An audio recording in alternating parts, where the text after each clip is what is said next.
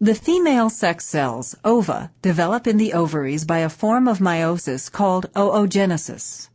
The sequence of events in oogenesis is similar to the sequence in spermatogenesis, but the timing and final result are different.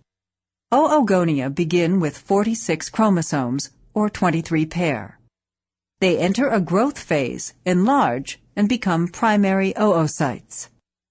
The primary oocytes replicate their DNA and begin the first meiotic division, but stop in the prophase until puberty. Many of the primary oocytes degenerate before birth, but approximately 400,000 will be available to the female over her reproductive years. Beginning at puberty, several primary oocytes start to grow again each month. One of the primary oocytes will outgrow the others and resume meiosis. The other cells degenerate. The large cell undergoes an unequal division so that nearly all the cytoplasm, organelles, and half the chromosomes go to one cell, which becomes a secondary oocyte with 23 chromosomes. The remaining half of the chromosomes go to a smaller cell called the first polar body.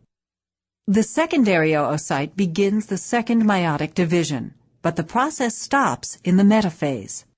At this point, ovulation occurs. If fertilization occurs, meiosis continues. The smaller cell from this division is a second polar body. The first polar body also usually divides in meiosis to produce two even smaller polar bodies. If fertilization does not occur, the second meiotic division is never completed, and the secondary oocyte degenerates. In oogenesis, only one functional ovum with 23 chromosomes develops from a primary oocyte. The other three cells are polar bodies and eventually degenerate.